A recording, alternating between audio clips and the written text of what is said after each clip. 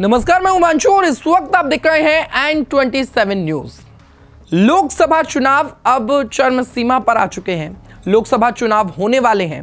अब ऐसे में दिल्ली के लोकसभा चुनावों में सात लोकसभा सीट हैं, जिनमें से एक सीट जिसकी टिकट कुछ दिनों पहले ही डिक्लेयर हुई और ये सीट है उत्तरी पश्चिमी दिल्ली की सीट। यहाँ से टिकट मिला भारतीय जनता पार्टी के योगेंद्र चंदोलिया को। योगेंद्र चंदोलिया, जो पूर्व में निगम पार्षद भी रह चुके हैं करोल बाग इलाके से, और मेयर भी रह चुके हैं।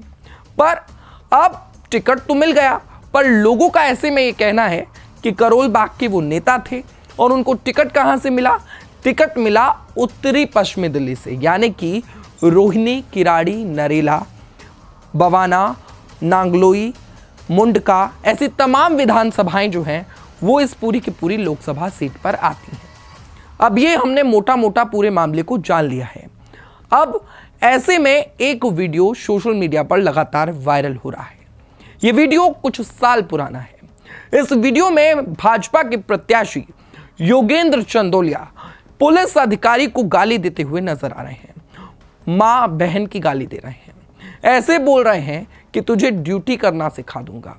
क्या ऑन ड्यूटी किसी भी पुलिस अधिकारी को, किसी भी ऑफिसर को या किसी भी गवर्नमेंट कर्मचारी को इस तरीके की भाषा से संबोधित करना। या मैं कहूँ कि न केवल यही एक वीडियो बल्कि उनका एक और वीडियो सामने आ रहा है, जिसमें वो साफ़ तौर से कहते हुए नज़र आ रहे हैं कि जाटव समाज को हिंदू देवी देवताओं से पता नहीं क्या समस्या है।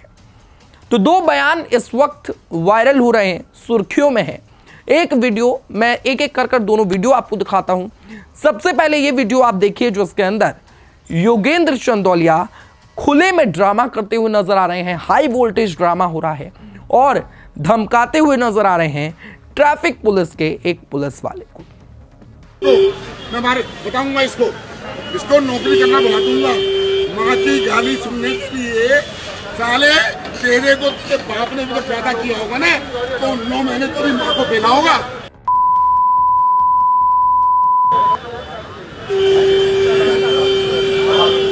बुला कौन सा टीआई है?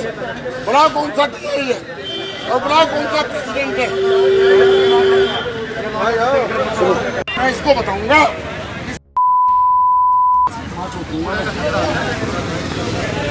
मेरी लड़की दूँगा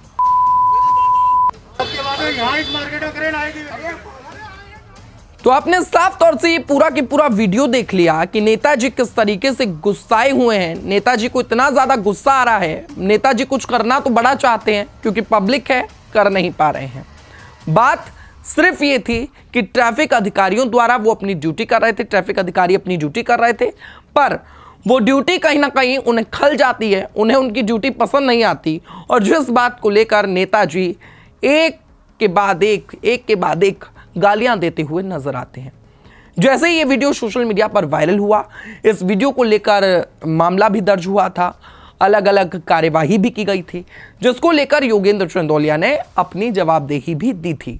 पर भारतीय जनता पार्टी ने ऐसे ही कैंडिडेट को इस वक्त चुनाव में उतार दिया है, जिस कैंडिडेट के दामन पर अलग अलग दाग जो है वो विपक्षी दल लगाते हुए नज़र आ रहे हैं।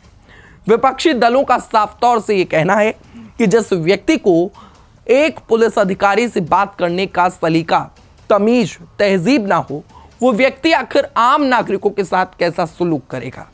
पर देखना यह होगा कि लोकसभा चुनावों में उत्तरी पश्चिमी दिल्ली, जहाँ से एक तरफ़ कांग्रेस होने वाली है और दूसरी तरफ़ जो है, साफ़ तौर से मैं आपको बता दूँ, योगेंद्र चंदौलिया होने वाले हैं। अभी तक नामांकन दाखिल नहीं किया गया है, पर नामांकन दाखिल होने के बाद ये बिल्कुल कंफर्म हो जाएगा कि योगेंद्र चंदोलिया वहाँ से चुनाव लड़ेंगे। और उसके बाद देखना ही होगा कि दोनों की दोनों जो पक्ष होंगे, कांग्रेस और बीजेपी, दोनों में से किसका पलड़ा भारी होगा? वैसे तो साफ़ तौर से नरेंद्र मोदी जी के चेहरे पर वोट डलने वाले हैं। साफ़ तौर से जब मैंने भी पब्लिक से बात की तो यही पता चला।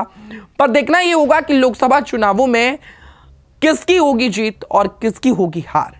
फ़िलहाल के लिए इस वीडियो में इतना ही और जिस तरीके से मैंने आपको वीडियो सुनवाया है, जिस वीडियो में लगातार जो नेता हैं भारतीय जनता पार्टी के योगेंद्र चंदौलिया, वो एक तरफ़ गाली देते हुए नज़र आते हैं, दूसरी तरफ़ धार्मिक भावनाओं को आहत करने वाली बातें बोलते हुए नज़र आते हैं।